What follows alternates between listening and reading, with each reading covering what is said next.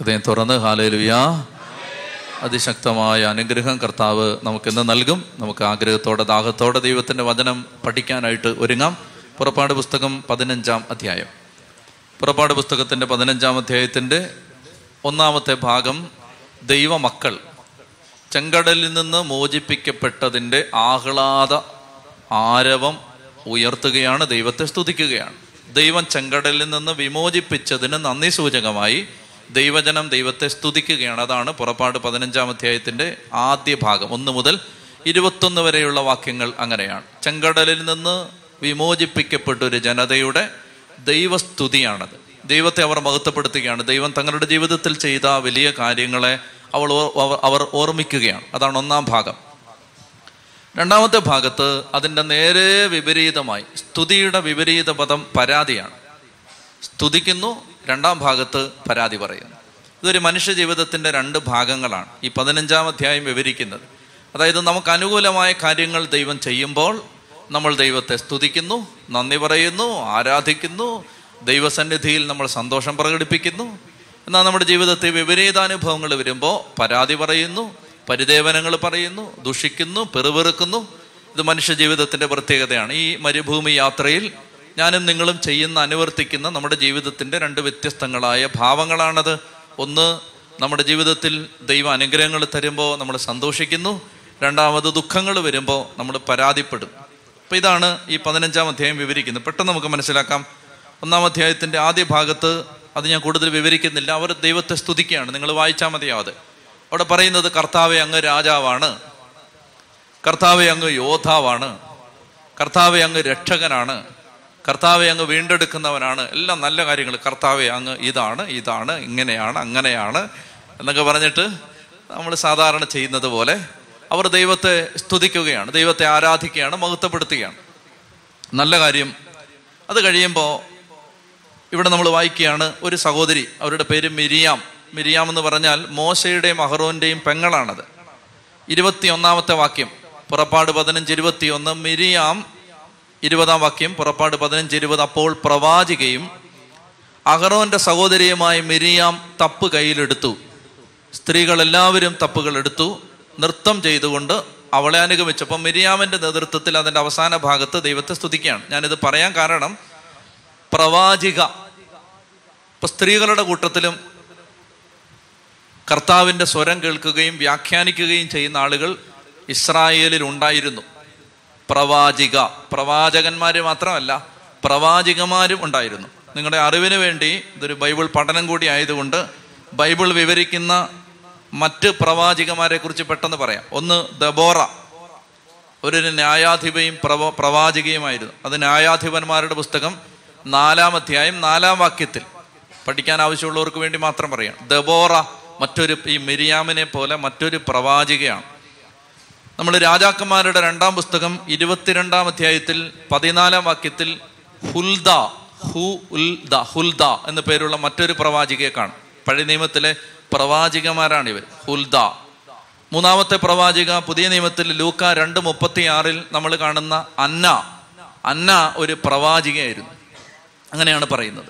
പിന്നീട് നമ്മൾ കാണുന്നത് അപ്പസ്തോല പ്രവർത്തനം ഇരുപത്തി ഒന്നാം അധ്യായം ഒമ്പതാം വാക്യത്തിൽ സുവിശേഷകനായ ഡീക്കന്മാരിൽ ഒരാളായ ഫീലിപ്പോസിനെ ആ ഫീലിപ്പോസിനെ നമുക്കറിയാം. ഫീലിപ്പോസിന്റെ പെൺമക്കൾ അവരെക്കുറിച്ച് അപ്പസ്തോല പ്രവർത്തനം ഇരുപത്തൊന്നിൽ പറയുന്നത് അവർ പ്രവാചികമാരായിരുന്നു എന്നാണ്. ഫീലിപ്പോസിന്റെ മക്കൾ പെൺകുട്ടികൾ പ്രവാചികമാരായിരുന്നു ചെറുപ്പക്കാരികളാണ് പക്ഷെ പ്രവാചികമാരായിരുന്നു ഞാൻ സന്ദർഭവശാൽ അത് പറഞ്ഞു പോകുന്നതേ ഉള്ളൂ. അതായത് സ്ത്രീകൾക്ക് അങ്ങനെ ഒരു ദൗത്യമില്ലെന്ന് വിചാരിക്കരുത്. കർത്താവിന്റെ സ്വരം കേൾക്കാനും ദൈവസ്വരം വ്യാഖ്യാനിക്കാനും ദൈവത്തിന്റെ അരുളപ്പാടുകൾ പങ്കുവെക്കാനും സ്ത്രീകൾക്ക് നിയോഗമില്ലെന്ന് വിചാരിക്കരുത്. ഇത് പുരുഷന്മാരുടെ കുത്തകയല്ല. പഴയ നിയമത്തിൽ ദബോറ ഹുൽദ പുതിയ നിയമത്തിൽ അന്ന അപ്പസ്തോല പ്രവർത്തനത്തിൽ ഫീലിപ്പോസിന്റെ പെൺമക്കൾ. ഇവരെല്ലാം പ്രവാചകന്മാരായിരുന്നു. അപ്പോൾ ഈ പ്രവാചികയായ മെരിയാം തപ്പ് കയ്യിലെടുത്ത് തമ്പുരു മീട്ടി നൃത്തമാടി ദൈവത്തെ സ്തുതിക്കുകയാണ്. അതാണ് ആ ഭാഗത്ത് നിന്ന് പറയാനുള്ളത്. പിന്നീട് നമ്മൾ രണ്ടാം ഭാഗത്തിലേക്ക് പോവുകയാണ്. പരാതി. ആദ്യത്തേത് സ്തുതി രണ്ടാമത്തേത് പരാതി. പരാതിയുടെ പശ്ചാത്തലം ഇതാണ്. അവർ മൂന്ന് ദിവസം യാത്ര ചെയ്തിട്ടും വെള്ളം കിട്ടുന്നില്ല. അപ്പൊ ഇസ്രായേൽ ജനം ചെങ്കടൽ പിന്നിട്ടു ഷൂർ മരുഭൂമിയിൽ പ്രവേശിച്ചു. അപ്പൊ ഓർക്കണം നിങ്ങൾ പശ്ചാത്തലം ഓർക്കണം. ചെങ്കടലിന് അക്കരെ എത്തിയതേ ഉള്ളൂ. അപ്പൊ കടൽ മുറിച്ച് കടന്നു അക്കരെ എത്തി ഇനി മൂന്ന് ദിവസം യാത്ര ചെയ്തു. മരുഭൂമിയിലൂടാണ് ഈ യാത്ര. മൂന്ന് ദിവസം യാത്ര ചെയ്തു വെള്ളം കിട്ടിയില്ല. അപ്പോൾ വെള്ളം കിട്ടാത്തതിന്റെ ഒരു ഭാരത്തിൽ ഒരു വിഷമത്തിൽ അവർ വെള്ളം അന്വേഷിച്ച് നടക്കുമ്പോൾ ഒരു സ്ഥലത്ത് മാറ എന്ന് പേരുള്ളൊരു സ്ഥലത്ത് വെള്ളം കിട്ടി. വെള്ളം കണ്ടു പക്ഷെ ആ വെള്ളത്തിന് കയ്പാണ്. വെള്ളം കുടിക്കാൻ പറ്റില്ല. അപ്പൊ ഇസ്രായേൽക്കാർ ദൈവത്തിനെതിരെ മോശയ്ക്കെതിരെ പെറുപെറുത്തു. ഇനി നമ്മൾ ത്രൂ ഔട്ട് പുറപ്പാടിൽ പുറപ്പാട് മുഴുവൻ നമ്മൾ കാണാൻ പോവുകയാണ്. ഓരോ സന്ദർഭങ്ങൾ വരുമ്പോൾ ജനം പെറുപെറുക്കാൻ പോവാണ്. പരാതി പറയാൻ പോവാണ്. ഈ പുസ്തകം വിവരിക്കുന്ന മാരക പാപങ്ങളിൽ ഒന്നാണ് പരാതി. അതായത് ബൈബിൾ പ്രകാരം പരാതി പിറുപിറുപ്പ് മുറുമുറുപ്പ് മാരക പാപമാണ് ഞാൻ പിന്നീട് വിശദീകരിക്കാം എന്തുകൊണ്ടാണ്. പരാതി അതായത് ഈ ജീവിതത്തെക്കുറിച്ച് പരാതി. സാഹചര്യങ്ങളെക്കുറിച്ച് പരാതി. ദൈവം എത്തിക്കുന്ന അനുഭവങ്ങളെക്കുറിച്ച് പരാതി. ഇതൊരു മാരക പാപമാണ് murmuring and grumbling is a grave sin according to the old testament and new testament ഒന്ന് കോറിന്തോസ് പത്തൊക്കെ എത്തുമ്പോൾ പിന്നീട് പൗലോസ് ലീഗ ഇതിനെക്കുറിച്ച് പറയുന്നുണ്ട്. അവർ അവർ കാനാനിൽ എത്താത്തതിന്റെ കാരണം എന്താണ്? പരാതി. പല ആളുകളും പല കുടുംബങ്ങളും കാനാനിൽ എത്താതെ പോകുന്നതിന്റെ കാരണം എന്താണ്? പരാതി. പ്രിയപ്പെട്ട സഹോദരങ്ങളെ അതുകൊണ്ട് നന്നായിട്ട് ഈ വിഷയം ശ്രദ്ധിക്കണം. അവർ മൂന്ന് ദിവസം വഴി പിന്നിട്ടു അവർ ഷൂർ മരുഭൂമിയിലെത്തി മൂന്ന് ദിവസം യാത്ര ചെയ്തു മാറ എന്ന സ്ഥലത്തെത്തി വെള്ളം കണ്ടു പക്ഷെ വെള്ളം കയ്പാണ്. അപ്പൊ ജനം പെറുപെറുത്തു കഴിഞ്ഞപ്പോ ദൈവം മോശയോട് പറഞ്ഞു പേടിക്കണ്ട അവിടുന്ന് അവൻ ഒരു തടിക്കഷണം കാണിച്ചു കൊടുത്തു. ഇംഗ്ലീഷ് ബൈബിളിൽ മരം കാണിച്ചു കൊടുത്തു എന്നാണ്. ഒരു മുറിച്ച് കിടക്കുന്ന തടി കാണിച്ചു കൊടുത്തു അല്ല ഒരു ട്രീ കാണിച്ചു കൊടുത്തു ഒരു മരം കാണിച്ചു കൊടുത്തു. അപ്പൊ ആ മരത്തിന്റെ കുറച്ച് ഭാഗം എടുത്ത് മോശ ആ വെള്ളത്തിലിട്ടു മരം മുറിച്ച് വെള്ളത്തിലിട്ടു. അപ്പൊ ആ വെള്ളം മധുരിക്കുന്ന വെള്ളമായിട്ട് മാറി. ഇതിനൊരു ഭൗതിക അർത്ഥമുണ്ട് ഒരു ആത്മീയ അർത്ഥമുണ്ട്. ശ്രദ്ധിച്ചിരിക്കുക. ഭൗതിക അർത്ഥം.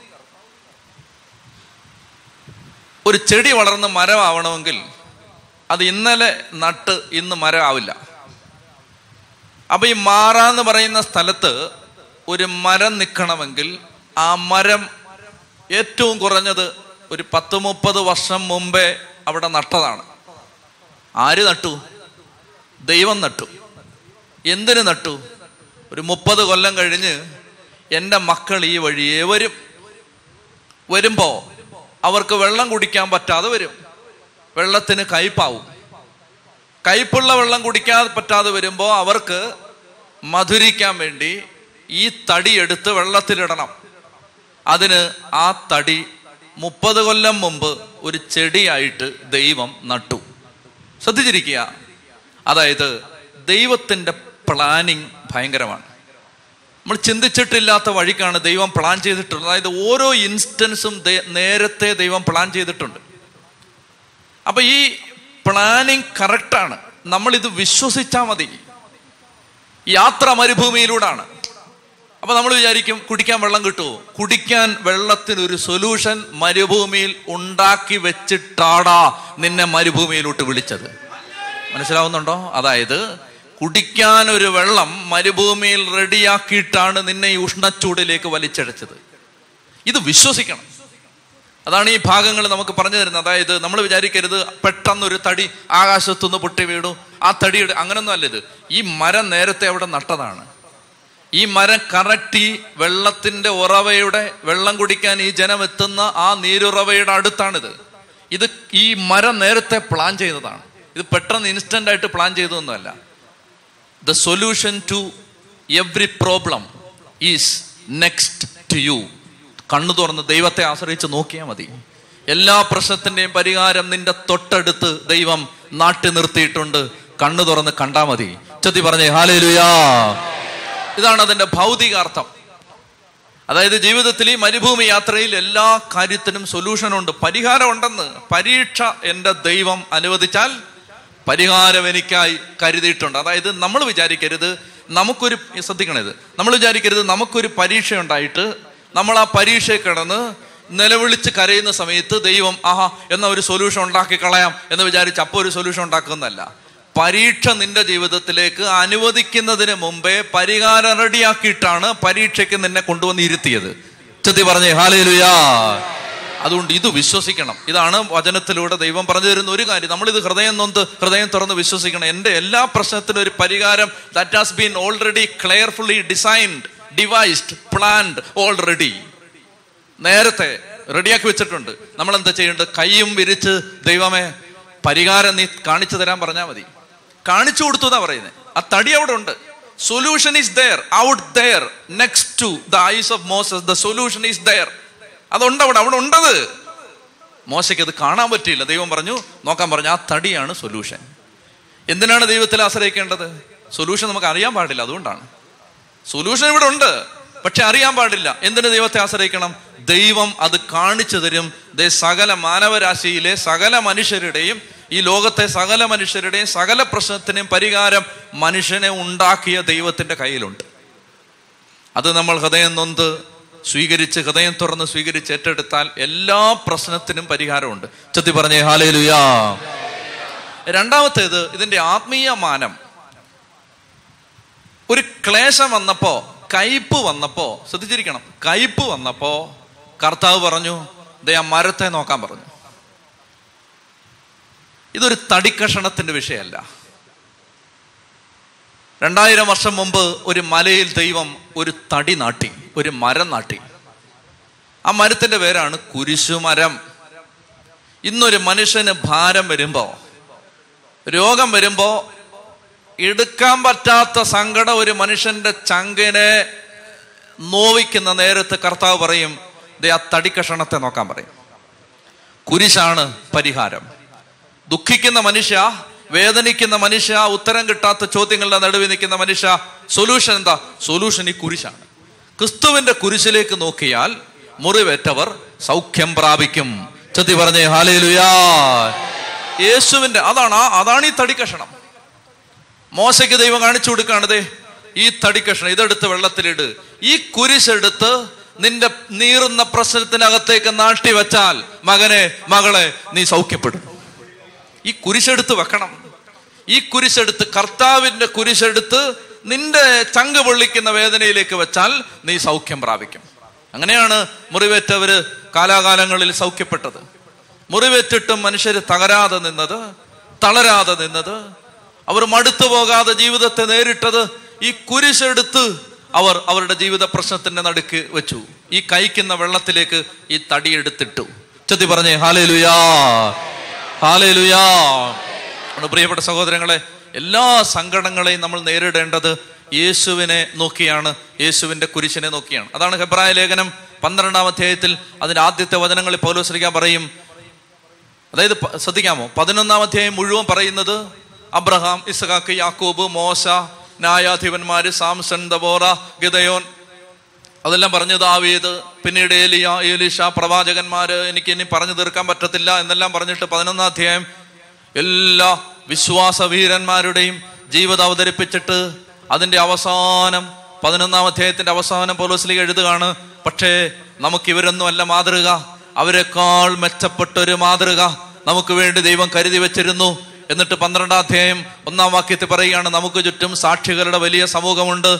നമ്മെ വിഷമിപ്പിക്കുന്ന ഭാരം നീക്കിക്കളയാം. എന്നിട്ട് പോലെ ശ്രീയ പറയാണ് നമ്മൾ അവരെ കണ്ടിട്ടല്ല ഓടേണ്ടത്. നമ്മുടെ വിശ്വാസത്തിന്റെ നാഥനും നമ്മെ വിജയത്തിലെത്തിക്കുന്നവനുമായ യേശുവിനെ കണ്ടുകൊണ്ട് വേണം നമ്മൾ ഓടാൻ. ചതി പറഞ്ഞേ ഹാലേലുയാ നമ്മൾ പൗലോസ്ലിക പറയുകയാണ് സാക്ഷികളുടെ പതിനൊന്നാം അധ്യായം മുഴുവൻ പഴയ നിയമത്തിലെ വീരോചിത വിശ്വാസം ജീവിച്ച വീരനായകന്മാരുടെ ജീവിത ജീവചരിത്രം എഴുതി വെച്ചിട്ട് പൗലോസ്ലിക പറയുകയാണ് അവരെ കണ്ടല്ല നമ്മൾ ഓടേണ്ടത്. അവരെ കണ്ടിട്ടല്ല നമ്മൾ ഓടേണ്ടത് നമ്മൾ ഓടേണ്ടത് നമ്മുടെ വിശ്വാസത്തിന്റെ നാഥനും അതിനെ പൂർണതയിലെത്തിക്കുന്നവനുമായ യേശുവിനെ കണ്ടുകൊണ്ട് വേണം നമ്മൾ ഓടാൻ. എന്നിട്ട് പോലെ ശ്രീക പറയാണ് അവൻ തന്റെ അപമാനം വകവെക്കാതെ കുരിശ് ക്ഷമയോടെ സ്വീകരിച്ചു. എന്താണ് മാതൃക? അവൻ തനിക്കുണ്ടായിരുന്ന അപമാനം വകവെക്കാതെ അവൻ സന്തോഷത്തോടെ ക്ഷമയോടെ അവൻ കുരിശ് ക്ഷമയോടെ സ്വീകരിച്ചു. പ്രിയപ്പെട്ട സഹോദരങ്ങളെ അതുകൊണ്ട് യേശുവിനെ മുന്നിൽ കണ്ടുകൊണ്ട് ഓടണം.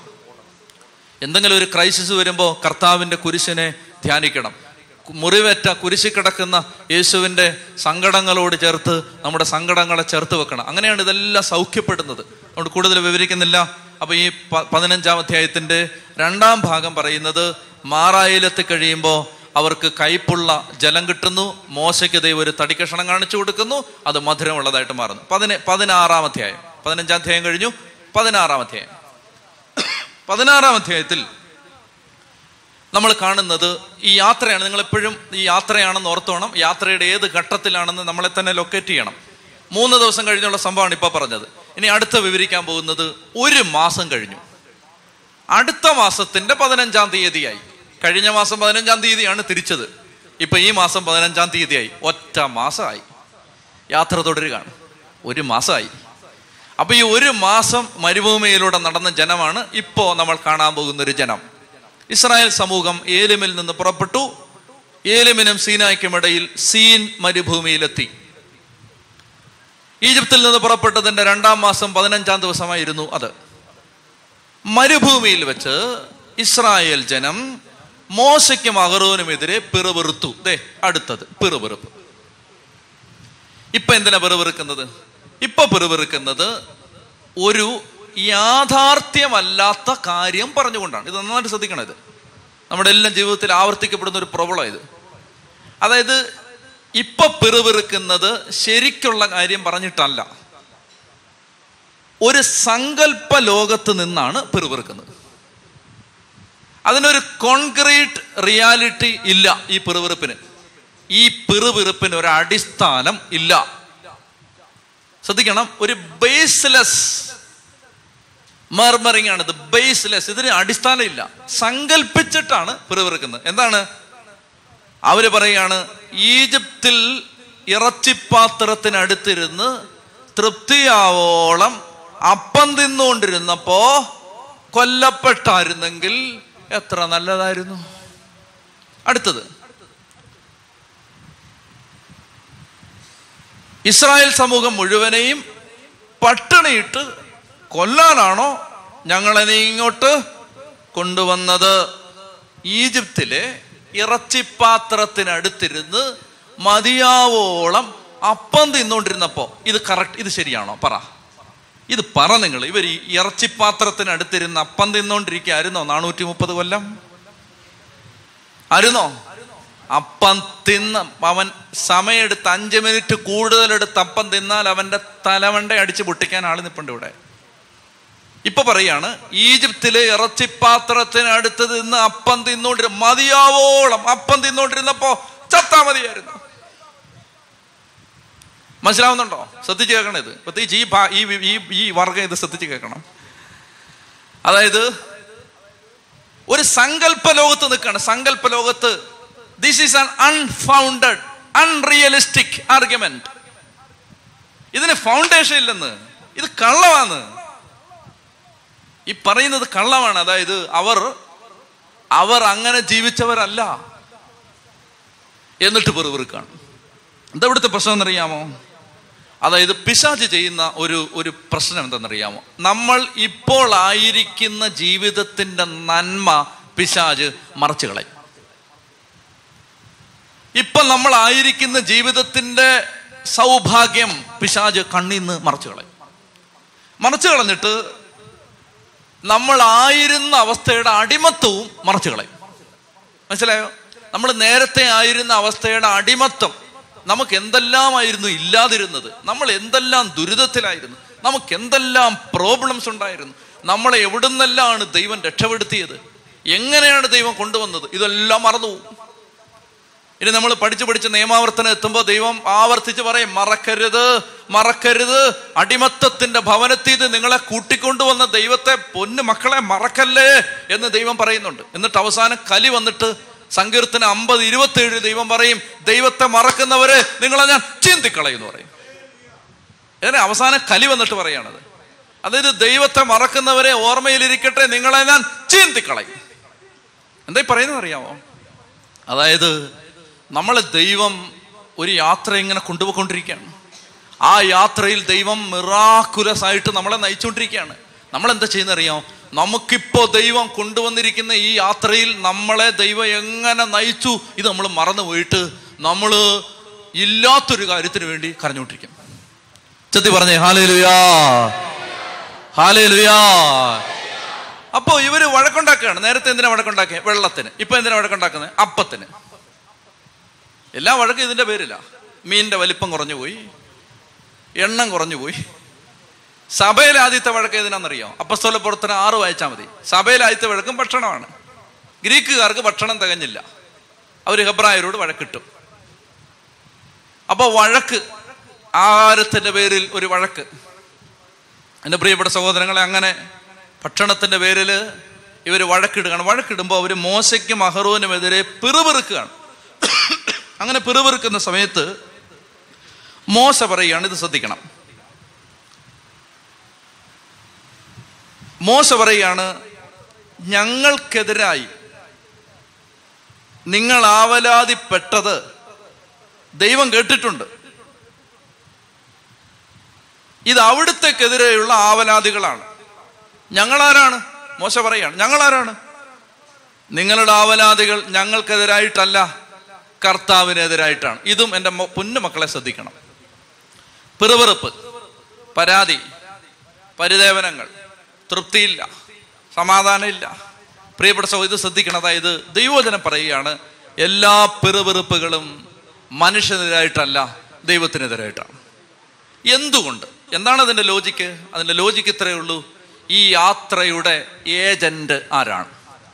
ആരാണ് ഈ യാത്രയുടെ ഓദർ? ആരാണ് ഈ യാത്ര നിയന്ത്രിച്ചു കൊണ്ടിരിക്കുന്നത് ആരാണ് നിന്നെ ഇവിടം വരെ എത്തിച്ചത്? ദൈവമാണത് ദൈവം. അപ്പൊ അങ്ങനാണെങ്കിൽ ജീവിതത്തിലെ എല്ലാ പിറുപിറുപ്പുകളും ഈ യാത്ര അൾട്ടിമേറ്റ് ആയിട്ട് കൺട്രോൾ ചെയ്തവനെതിരെയാണ്. മനുഷ്യർക്കെതിരെ അല്ല. ചത്തി പറഞ്ഞേ ഹാലേ ലുയാ മോശ പറയാണ് ഞങ്ങൾക്കെതിരെ പിറുപിറുക്കാൻ ഞങ്ങൾ ആരാണ് ഈ ഇൻ ദ അൾട്ടിമേറ്റ് സെൻസ് എല്ലാ പരാതിയും എല്ലാ പെറുപെറുപ്പും ദൈവത്തിനെതിരായിട്ടാണ്. കാരണം ഞാനാണോ അടിമത്തത്തിൽ നിങ്ങളെ കൊണ്ടുവന്നത്? ഞാനാണോ ഈ യാത്രയുടെ സോഴ്സ് അതോറിറ്റി ഏജന്റ്? ഞാനല്ല ദൈവമാണ് നിങ്ങളെ കൊണ്ടുവന്നത്. ദൈവമാണ് നിങ്ങളെ ഇപ്പൊ ഈ മരുഭൂമിയിൽ this particular point of time particular period നിങ്ങളെ ഇവിടെ എത്തിച്ചിരിക്കുന്നത്. ദൈവമാണ്. ആ ദൈവത്തിനെതിരായിട്ടാണ് നിങ്ങളുടെ പെറുപെറുപ്പ്. എല്ലാ അവലാദികളും ആത്യന്തികമായി ദൈവത്തിനെതിരായിട്ടാണ്. എന്നിട്ട് ശ്രദ്ധിക്കുക. അപ്പൊ ഈ പരാതി പറഞ്ഞു കഴിഞ്ഞപ്പോൾ ആ പരാതികൾ ദൈവം കേട്ടു. ദൈവം കേട്ടിട്ട് നമ്മൾ ശ്രദ്ധിക്കേണ്ടത് ഇതിന് പതിനേഴാം അധ്യായത്തിലേക്ക് നമ്മൾ പോകുമ്പോൾ അവിടെയും വീണ്ടും പരാതി വരാൻ പോവാണ്. നമ്മൾ ഇന്ന് അത് കവർ ചെയ്യും. പതിനേഴാം അധ്യായത്തിൽ വീണ്ടും പരാതിയുണ്ട്. പക്ഷെ ഈ ആഹാരത്തിന് വേണ്ടിയോ ശ്രദ്ധിക്കുക ആഹാരത്തിന് വേണ്ടിയോ വെള്ളത്തിന് വേണ്ടിയോ ഭക്ഷണം കഴിക്കാനുള്ള ആഗ്രഹത്തിന് വേണ്ടിയോ ജനം പിറുപിറുത്തതിനൊന്നും ദൈവം ക്ഷമി ദൈവം ശിക്ഷിച്ചിട്ടില്ല. അത് നമ്മൾ ശ്രദ്ധിക്കേണ്ടതാണ് ബൈബിളിൽ ഞങ്ങൾക്ക് വെള്ളം കിട്ടുന്നില്ല എന്ന് പറഞ്ഞ് പരാതി പറയുമ്പോഴൊന്നും ദൈവം ഈ ജനത്തെ ശിക്ഷിക്കുന്നില്ല. രണ്ടാമത്തെ പ്രാവശ്യം അവർ ദൈവത്തിനെതിരെ അതായത് അത്ഭുതങ്ങൾ ഒരുപാട് കണ്ടിട്ട് ലാസ്റ്റ് സ്റ്റേജൊക്കെ എത്തുമ്പോഴേക്കും ദൈവം കോപിക്കുന്നുണ്ട്. പക്ഷേ ഈ ആദ്യത്തെ സ്റ്റേജിലൊക്കെ കുറേ നേരം മുന്നോട്ട് പോകുമ്പോൾ ഇവരെന്ത് പറഞ്ഞാലും ദൈവം അതിന്റെ ഒരു സൊല്യൂഷൻ ഉണ്ടാക്കിയും കൊടുക്കും. ആ ഞാൻ വെള്ളം കിട്ടുന്നില്ല. അതെ വെള്ളം. ഭക്ഷണമില്ല. അതെ ഭക്ഷണം. അങ്ങനെ ദൈവം കരുതൽ കാണിക്കണം അതായത് മനുഷ്യന്റെ അടിസ്ഥാന ആവശ്യങ്ങളോട് അത് പറഞ്ഞ് മനുഷ്യൻ കരഞ്ഞാൽ ദൈവത്തിന് പണക്കമൊന്നുമില്ല. ഞങ്ങൾക്ക് വീടില്ല എന്ന് പറഞ്ഞ് നീ ഒന്ന് കരഞ്ഞാൽ ദൈവത്തിന് സങ്കടമൊന്നുമില്ല അതിനകത്ത്. അടിസ്ഥാന ആവശ്യങ്ങൾ ദൈവത്തോടല്ലാതെ നമ്മൾ ആരോടാണ് ചോദിക്കേണ്ടത്? പ്രിയപ്പെട്ട സഹോദരങ്ങളെ അങ്ങനെ അവർ ചോദിക്കുമ്പോൾ ഇനി ശ്രദ്ധിക്കുക. വളരെ പ്രധാനപ്പെട്ട ഒന്ന് രണ്ട് സൂചനകൾ. അങ്ങനെ അവർ ദൈവസന്നിധിയിൽ പിറവിറുക്കുമ്പോൾ ദൈവം ആകാശത്ത് നിന്ന് മന്ന വർഷിക്കുകയാണ്.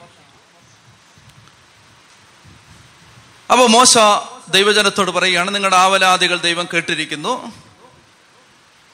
വൈകുന്നേരമായപ്പോ കാടപ്പക്ഷികൾ വന്ന് പാളയം മൂടി. അപ്പോ ഇറച്ചി വന്നു. ഇറച്ചി കിട്ടി. കാടപ്പക്ഷി. വന്ന് ഭൂതലം മൂടി ആ മരുഭൂമിയുടെ ആ ആ സ്ഥലം മൂടി. വെളുപ്പാങ്കാലായപ്പോഴേക്കും മരുഭൂമിയുടെ ഉപരിതലത്തിൽ പൊടിമഞ്ഞ് പോലെ വെളുത്തുരുണ്ട ലോലമായ ഒരു വസ്തു കാണപ്പെട്ടു. ഇതിപ്പോൾ എന്താപ്പാ ഈ പറഞ്ഞതെന്ന് നിങ്ങൾക്ക് സംശയമുണ്ടെങ്കിൽ കുർബാന സ്വീകരിക്കാൻ വരുമ്പോൾ നിങ്ങളുടെ നാവിലേക്ക് വെച്ച് തരുന്ന ദിവ്യകാരുണ തിരുവോസ്തി അത് ഓർത്താൽ മതി. അതുപോലെ അതുപോലൊരു സാധനം താഴോട്ട് വന്നു. താഴെ വന്ന് കിടക്കുകയാണ്. അപ്പൊ ഇവർ ചോദിച്ചു ഇത് കണ്ടപ്പോ ഇതെന്താണ്? വാട്ട് ഈസ് ഇറ്റ് അപ്പൊ ആർക്ക് പിടികിട്ടുന്നില്ല ഇതെന്താ? രണ്ടായിരം കൊല്ലം കഴിഞ്ഞ് ഇന്ന് ദേ ഉച്ചയ്ക്ക് ഇവിടെ ബലിയർപ്പിക്കാൻ പോവാ. ഇന്നും മനസ്സിലായിട്ടുണ്ടോ? ഇതെന്താന്ന് ഒരിക്കലും മനസ്സിലാവാത്ത ഒരു മഹാരഹസ്യത്തിന്റെ ആരംഭമാണ് ആകാശത്ത് നിന്നും പൊഴിഞ്ഞത്.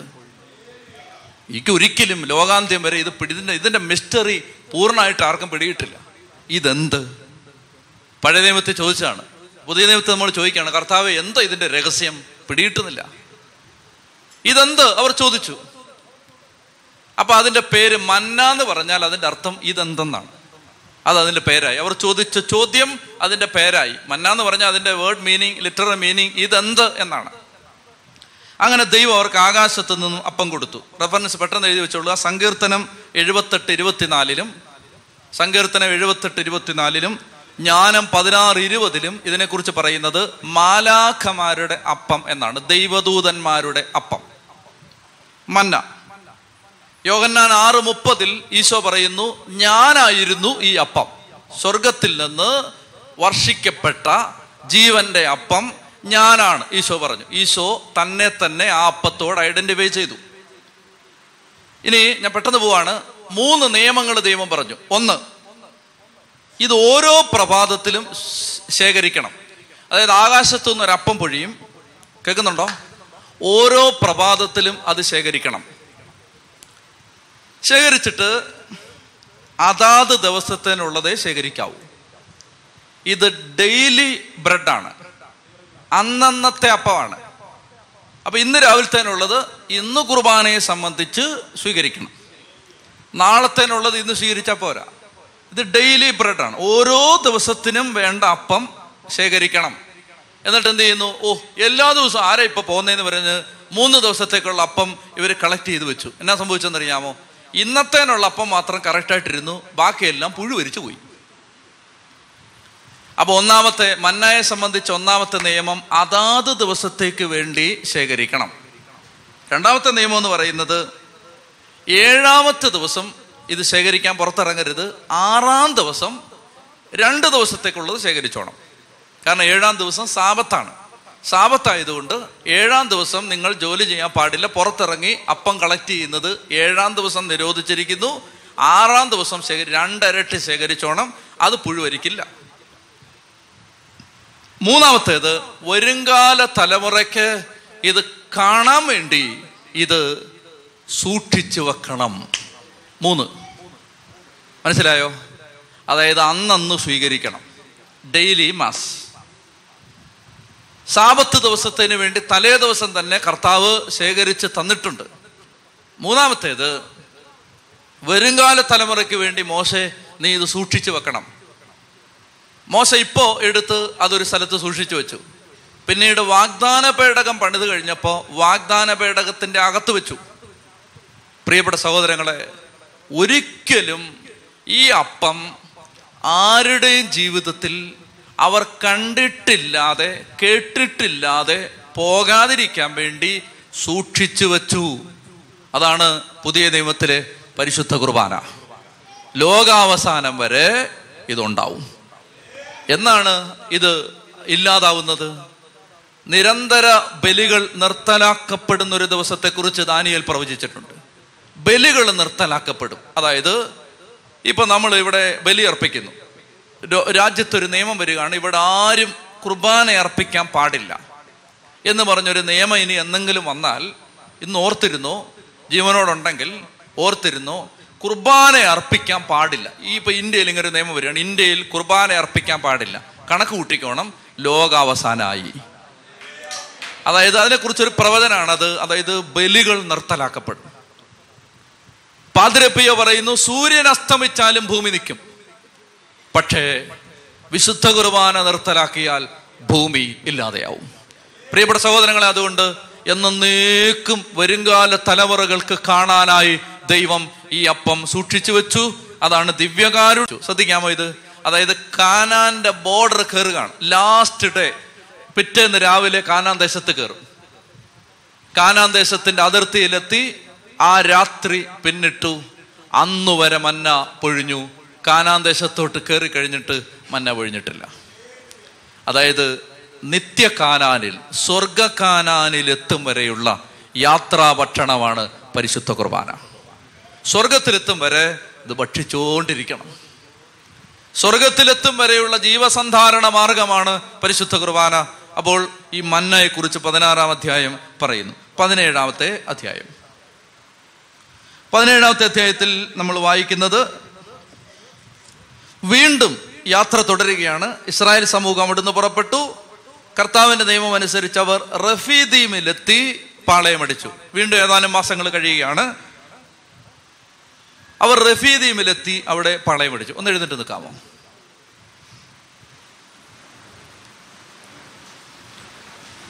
വളരെ മർമ്മപ്രധാനമായ മറ്റൊരു അധ്യായമാണിത് പതിനേഴാം അധ്യായം.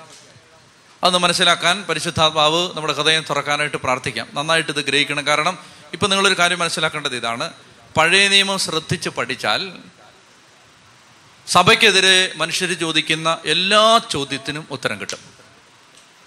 പഴയ നിയമം തിരുവചനം ശ്രദ്ധിച്ച് പഠിക്കണം. പഠിച്ചില്ലെങ്കിൽ സംഭവിക്കുന്നത് എവിടുന്നെങ്കിലും ആരെങ്കിലും ഒരു കൊട്ടേഷൻ എടുത്തുകൊണ്ട് വന്നാൽ അപ്പ സംശയം വരും. മനസ്സിലാവുന്നുണ്ടോ? ഞാൻ ഒരു ഉദാഹരണം പറയാം. വിഗ്രഹാരാധനയെക്കുറിച്ച് പറഞ്ഞപ്പോൾ ഒരു കാര്യം കൂടെ പറയണമായിരുന്നു. ഞാനത് പറയാൻ വിട്ടുപോയതാണ്. അതായത് ഒരു കുഞ്ഞു കാര്യം നിന്നുകൊണ്ട് കേട്ടാൽ മതി. കാര്യമൊന്ന് കാര്യമുള്ളതാണ് നിന്നുകൊണ്ട് കേൾക്കണം. നിയമാവർത്തന പുസ്തകം നാലാം അധ്യായത്തിൽ ദൈവം പറയാണ് വിഗ്രഹങ്ങൾ ഉണ്ടാക്കരുത്. ഞാൻ കഴിഞ്ഞ ആഴ്ച പറഞ്ഞിരുന്നു വിഗ്രഹാരാധനയുടെ കാര്യം പറഞ്ഞു. വിഗ്രഹങ്ങൾ ഉണ്ടാക്കരുത് എന്ന് ദൈവം പറഞ്ഞിരുന്നു.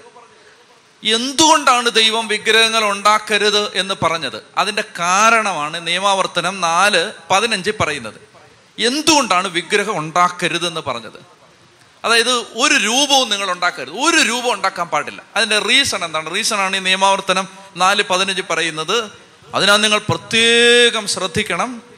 ഹോറബിൽ വെച്ച് അഗ്നിയുടെ മധ്യത്തിൽ കർത്താവ് നിങ്ങളോട് സംസാരിച്ച ദിവസം അതായത് സീനായി മലയിൽ വെച്ച് തീക്കകത്ത് നിന്ന് ദൈവം നിങ്ങളോട് സംസാരിച്ച ദിവസം നിങ്ങൾ ദൈവത്തിന്റെ ഒരു രൂപവും കണ്ടിട്ടില്ല. കേൾക്കുന്നുണ്ടോ? എന്താണ് വിഗ്രഹം ഉണ്ടാക്കരുതെന്ന് പറയുന്നതിന്റെ ലോജിക്കാണിത്. എന്താണ് നിങ്ങൾ കർത്താവ് ഇതാണെന്ന് പറഞ്ഞൊരു രൂപം ഉണ്ടാക്കിയ നിങ്ങൾ ഒരു രൂപവും കണ്ടിട്ടില്ല. അതിനാൽ ഏതിന്റെയെങ്കിലും രൂപത്തിൽ പുരുഷന്റെയോ സ്ത്രീയുടെയോ മൃഗത്തിന്റെയോ പറവയുടെയോ നിലത്തിഴിയുന്ന ഏതെങ്കിലും ജന്തുവിന്റെയോ ഭൂമിക്കടിയിലെ ജലത്തിൽ വസിക്കുന്ന മത്സ്യത്തിന്റെയോ ഒന്നിന്റെ സാദൃശ്യത്തിൽ വിഗ്രഹം ഉണ്ടാക്കി അശുദ്ധരാവരുത്. എന്താണ് റീസൺ? ഹോറബ് മലയിൽ വെച്ച ദൈവം അഗ്നിയുടെ മധ്യത്തിൽ നിങ്ങളോട് പ്രത്യക്ഷപ്പെട്ടപ്പോ നിങ്ങൾ കർത്താവിന്റെ ഒരു രൂപവും കണ്ടിട്ടില്ല. ഇത് ആരോട് പറഞ്ഞു? പഴയ നിയമജനതയോട് പറഞ്ഞു നമ്മളോ നമ്മൾ കണ്ടു. നമ്മൾ കണ്ടെന്ന്.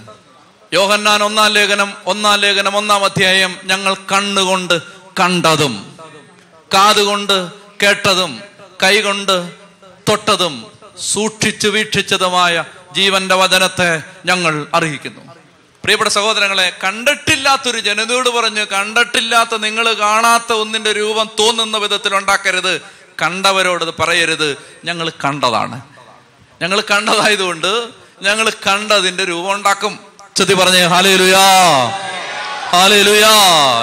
പ്രിയപ്പെട്ട സഹോദരങ്ങളെ പരിശുദ്ധ അമ്മയുടെ ആദ്യത്തെ രൂപം ചിത്രം വരച്ചത് ലൂക്കാ സുവിശേഷകനാണെന്ന് സഭയിൽ ഒരു പാരമ്പര്യമുണ്ട് ലൂക്ക കണ്ടതാണ് മാതാവിനെ.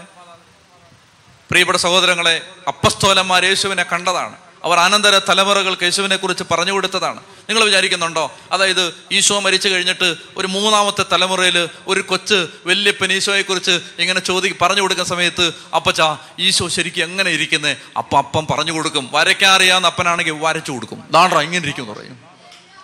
ചതി പറഞ്ഞേ ഹാ പ്രിയപ്പെട്ട സഹോദരങ്ങൾ അതുകൊണ്ട് ഞാൻ പറയുന്നത് പഴയ നിയമം ശ്രദ്ധിച്ച് പഠിക്കും ഇപ്പോൾ പഠിക്കുമ്പോൾ നിങ്ങൾ വിചാരിക്കും ഓ ഇത് എന്ത് എന്തിനാ ഇതൊക്കെ പഠിക്കുന്നത് വിചാരിക്കും. ഇത് പഠിച്ചാലേ അതായത് സഭ എന്താണെന്ന് മനസ്സിലാവും. മനസ്സിലാവുന്നുണ്ടോ? എന്തിനാണ് കുട്ടികൾക്ക് മാമോദീസ കൊടുക്കുന്നത്?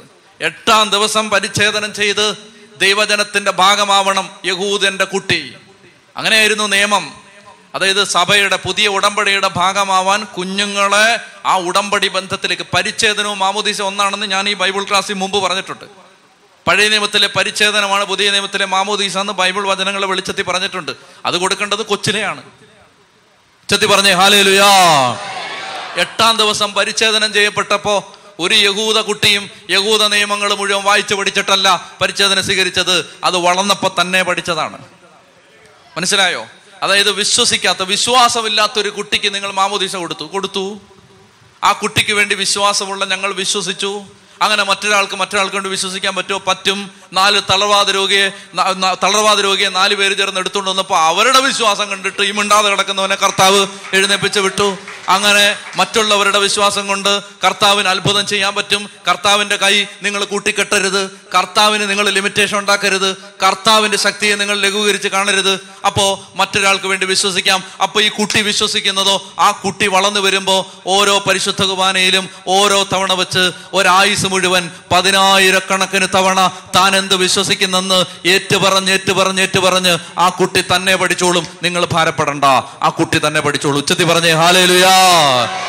പ്രിയപ്പെട്ട സഹോദരങ്ങളെ ഇത് വിശ്വാസം മനസ്സിലാവണമെങ്കിൽ വചനം പഠിക്കണം. അല്ലെങ്കിൽ എവിടുന്നെങ്കിലും ഒരു കൊട്ടേഷൻ കൊണ്ട് ഒരാൾ വരും. ആ, ശരിയാണല്ലോ ബ്രദറെ നമുക്കൊരു സഭ തുടങ്ങാം. അങ്ങോട്ട് പോകും. മനസ്സിലാവുന്നുണ്ടോ? കണ്ണടച്ച് കരങ്ങൾ സ്വർഗത്തിലേക്ക് ഉയർത്തിക്ക്. വിശ്വാസം മനസ്സിലാവാൻ വചനം വിളിച്ച് വചനത്തിന്റെ വെളിച്ചം കിട്ടണം. അതിന് കർത്താവ് സഹായിക്കണം. അതിന് നമ്മൾ വചനം പഠിക്കുന്നത്. എത്രത്തോളം ഹൃദയം തുറന്ന് കർത്താവിനെ സ്തുതിക്കാമോ? സ്തുതിച്ച് ഹാലലുയാ ഹാലലുയാ ഹാലലുയാ. സ്തുതിക്കട്ടെ ഒരു പത്തിരുപത്തഞ്ച് പേര് നിങ്ങളുടെ സ്വരം കേൾക്കട്ടെ ഉച്ചത്തിൽ സ്തുതിക്കട്ടെ. ഹാലലുയാ ഹാലലുയാ ഹാലലുയാ ഹാലലുയാ. ശക്തമായിട്ട് കർത്താവിനെ വിളിച്ച് പ്രാർത്ഥിക്കുന്നു വിശ്വേ ചത്ത് വിളിക്കുന്നു ഈശോയേ ഹല്ലേലൂയ, ഹല്ലേലൂയ, ഹല്ലേലൂയ. ശക്തിയോടെ കരങ്ങളടിച്ച് കണ്ണടച്ച് പാടി പ്രാർത്ഥിച്ച് പരിശുദ്ധാത്മാവേ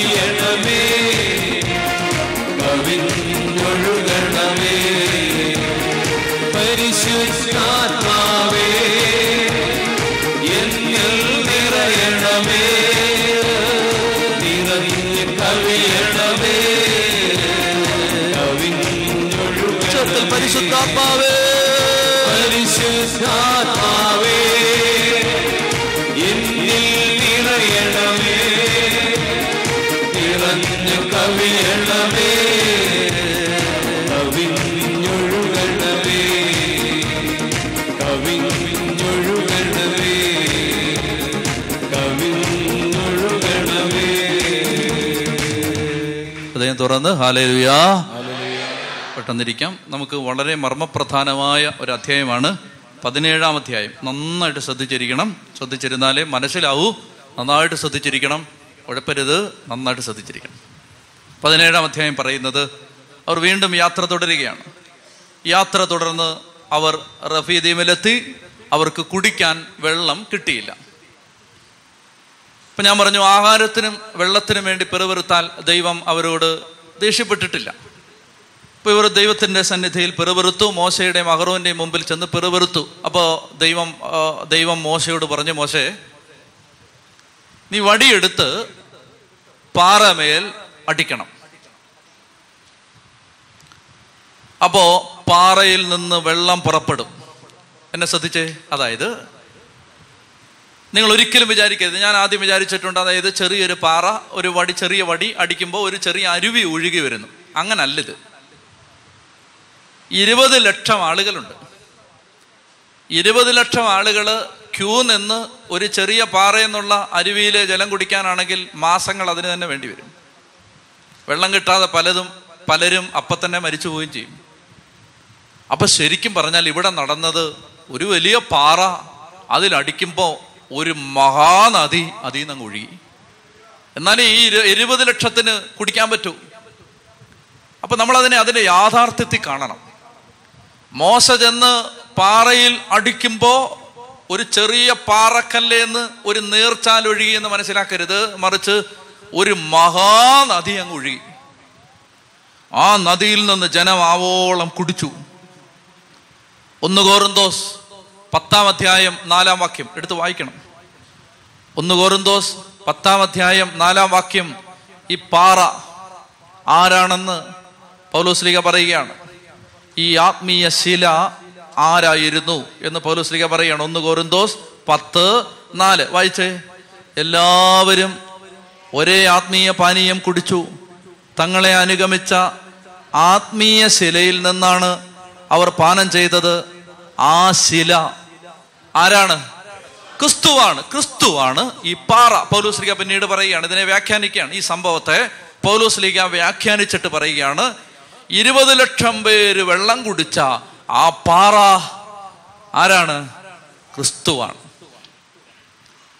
അപ്പൊ ഈശോ എന്ത് ചെയ്തു? ഈ പശ്ചാത്തലത്തിലാണ് ഈശോ പറയുന്നത് യോഹന്നാൻ ഏഴാം അധ്യായം മുപ്പത്തേഴാം വാക്യം. എന്നെ ശ്രദ്ധിച്ചിരുന്നാൽ മതി. ഇനി ഇനി വായിക്കേണ്ട എന്നെ നോക്കിയിരിക്കുക അപ്പൊ ആദ്യം മുതൽ ഞാൻ പറയുകയാണ് ഇരുപത് ലക്ഷം പേര് വെള്ളം കുടിച്ചിക്കാനായി ഒരു മഹാനദി ഉറവ പൊട്ടി ഒഴുകി. ഒന്ന് കോറിന്തോസ് പത്ത് നാലിൽ പൗലോസ്ലിക പറഞ്ഞു ഈ കല്ല് ഈ പാറ ക്രിസ്തുവാണ്. ക്രിസ്തുവിൽ നിന്നാണ് ഈ ജലം ഒഴുകിയത്. ക്രിസ്തുവായിരുന്നു ആ പാറ. ആ പാറയിൽ നിന്നാണ് അനേക ലക്ഷം പേര് മതിയാവോളം കുടിച്ച മഹാനദി ഒഴുകിയത്. ഈശോ പറയുകയാണ് യോഹന്നാൻ ഏഴ് മുപ്പത്തിയേഴ് തിരുനാളിന്റെ അവസാനത്തെ മഹാദിനത്തിൽ യേശു എഴുന്നേറ്റ് നിന്ന് ശബ്ദമുയർത്തി പറഞ്ഞു ആർക്കെങ്കിലും ദാഹിക്കുന്നെങ്കിൽ അവൻ എന്റെ അടുക്കൽ വന്ന് കുടിക്കട്ടെ. എന്നിൽ വിശ്വസിക്കുന്നവന്റെ ഹൃദയത്തിൽ നിന്ന് ജീവജലത്തിന്റെ നദികൾ ഒഴുകും അരുവികൾ ഒഴുകും. ഇത് മനസ്സിലാക്കണം ഈ കണക്ഷൻ കിട്ടണം. യേശുവാണ് ഈ പാറ. ഈ പാറ കുരിശിൽ തൂങ്ങപ്പെട്ട് കിടക്കുമ്പോ പടയാളി അവന്റെ വിലാവിൽ കുത്തി ആ പാറയിൽ നിന്ന് രക്തവും വെള്ളവും ഒഴുകി. യോഹന്നാൻ ഏഴ് മുപ്പത്തേഴ് കർത്താവ് പറയാണ് ആർക്കെങ്കിലും ദാഹിക്കുന്നെങ്കിൽ അവൻ എന്റെ അടുക്കൽ വന്ന് കുടിക്കട്ടെ. എന്നിൽ വിശ്വസിക്കുന്നതിന്റെ ഹൃദയത്തിൽ നിന്ന് ജീവജലത്തിന്റെ നദികൾ ഒഴുകും. തിരുനാളിന്റെ അവസാനത്തെ മഹാദിനത്തിൽ ഏത് തിരുനാൾ? കൂടാര തിരുനാൾ. കൂടാര തിരുനാൾ ഇവർ മരുഭൂമിയിലൂടെ യാത്ര ചെയ്തപ്പോ ഇവർ പാളയമടിച്ച് കൂടാരമടിച്ച് താമസിച്ച സ്ഥലത്ത് വെള്ളം കിട്ടാതിരുന്നപ്പോൾ അവർക്ക് വേണ്ടി പാറയിലടിച്ച് ദൈവം നദിയൊഴുക്കിയതിന്റെ ഓർമ്മയ്ക്ക് നടത്തുന്ന തിരുനാളായിരുന്നു കൂടാര തിരുനാൾ. അതായത് ഈ കാര്യം ഇപ്പൊ നമ്മൾ വായിച്ചു പഠിച്ച സംഭവം ഉണ്ടല്ലോ. ആ സംഭവത്തിന്റെ ഓർമ്മയാചരണം കൂടാര തിരുനാളിന്റെ ഭാഗമാണ്. ആ ഓർമ്മയാചരണത്തിന്റെ ഭാഗമായി ശ്രദ്ധിക്കാമോ? ആ ഓർമ്മയാചരണത്തിന്റെ ഭാഗമായി ശീലോഹാ കുളത്തിൽ നിന്ന് ലേവ്യ പുരോഹിതന്മാർ അനേക കുടങ്ങളിൽ വെള്ളം കോരിയെടുത്ത് ഹല്ലേലുയ സങ്കീർത്തനങ്ങൾ പാടിക്കൊണ്ട് അവർ ബലിപീഠത്തിന്റെ അടുത്തേക്ക് പോയി നീരാജന നേർച്ചകൾ ജലധാര നേർച്ചകൾ വെള്ളം കൊണ്ടുള്ള നേർച്ച അത് സമർപ്പിച്ചിരുന്ന ആ സ്ഥലത്ത് നിന്ന് താഴേക്ക് ഇങ്ങനെ വെള്ളം ഒഴുക്കി വിടും എന്തിന്റെ ഓർമ്മയ്ക്കാണ്? ഈ പാറയിൽ അടിച്ച് പാറയിൽ നിന്ന് വെള്ളം ഒഴുകി വന്നതിന്റെ ഓർമ്മയ്ക്കായിട്ട്. ഞാനിത് പറഞ്ഞപ്പോൾ പിതാക്കന്മാരുടെ ധ്യാനത്ത് പറഞ്ഞപ്പോൾ പാമ്പളാനി പിതാവിനോട് പറഞ്ഞു ഞാനൊരു കുഞ്ഞു കാര്യം കൂടെ കൂട്ടിച്ചേർത്ത് പറഞ്ഞുതരാന്ന് പറഞ്ഞു. എന്നിട്ട് അതേ എനിക്ക് പറഞ്ഞു തന്നത് ഇങ്ങനെയാണ്. അതായത് ഈ വെള്ളം ഒഴുക്കി വിടുമ്പോൾ മറ്റൊരു കാര്യം കൂടെ അവർ ചെയ്തിരുന്നു. വലിയ ഒരു കുടം. ചെറിയ കുടമല്ല വലിയ ഒരു കുടം. ആ കുടത്തിൽ അതിന്റെ അടിയിൽ വീഞ്ഞൊഴിച്ചിരിക്കുകയാണ്. അതിനകത്തേക്ക് കുറച്ച് പുരോഹിതന്മാർ വെള്ളം കൊണ്ടുവന്ന് ഒഴിച്ച് ഒഴിച്ച് ഒഴിച്ചൊഴിച്ച് ഈ കുടം നിറയ്ക്കും. കുടം നിറച്ചിട്ട് അവർ ഈ കുടത്തിൽ ഒരടി കൊടുത്ത് ഒരു ദ്വാരം ഉണ്ടാക്കി അതിൽ നിന്ന് ഈ വെള്ളം പാറയിൽ നിന്ന് വെള്ളം ഒഴുകുന്ന പോലെ ഒഴുകി വരും. അങ്ങനെ ഒരു ചടങ്ങുണ്ടായിരുന്നു. പ്രിയപ്പെട്ട സഹോദരങ്ങളെ അങ്ങനെ ലക്ഷക്കണക്കിന് യഹൂദന്മാർ ഈ പാറയിൽ നിന്നൊഴുകി വന്ന വെള്ളത്തിന്റെ ഓർമ്മയാചരണമായ കൂടാര തിരുനാളിൽ വെള്ളം വരുന്നത് ഇങ്ങനെ നിർനിമേഷരായി നോക്കി നിൽക്കുമ്പോ ജനക്കൂട്ടത്തിന്റെ ഇടയിൽ അത് കണ്ടുകൊണ്ടിരുന്ന ഒരു ചെറുപ്പക്കാരൻ മുപ്പത്തിമൂന്നുകാരൻ അവിടുന്ന് മാറി ഒരു പൊക്കമുള്ള സ്ഥലത്തേക്ക് കയറി നിന്നിട്ട് ഇങ്ങനെ വിളിച്ചു പറഞ്ഞു ആർക്കെങ്കിലും നൗ ലിസൺ ടു മീ ആർക്കെങ്കിലും ദാഹിക്കുന്നെങ്കിൽ let them come to me വാ. കൂടാര തിരുനാളിൽ പാറയിൽ നിന്ന് പാറയിൽ അടിച്ചപ്പോ വെള്ളം ഒഴുകി വന്നുകൊണ്ടിരുന്ന ആ കാഴ്ച കണ്ടോണ്ടിരുന്ന ജനത്തോട് പറഞ്ഞു ആർക്കെങ്കിലും ദാഹിക്കുന്നെങ്കിൽ നിങ്ങളെ എന്റെ അരികിലേക്ക് വരട്ടെ. എന്നിൽ വിശ്വസിക്കുന്നവന്റെ ചങ്കിൽ നിന്ന് പാറയിൽ നിന്നൊഴുകിയ വെള്ളം ഒഴുകാൻ പോവാണ്. ചെത്തി പറഞ്ഞേ ഹാലയിലുയാ എന്നിട്ട് യോഹന്നാൻ പറയുകയാണ് അവനിത് പറഞ്ഞത് പരിശുദ്ധാത്മാവിനെ കുറിച്ചാണ്. ഇപ്പൊ മനസ്സിലായോ?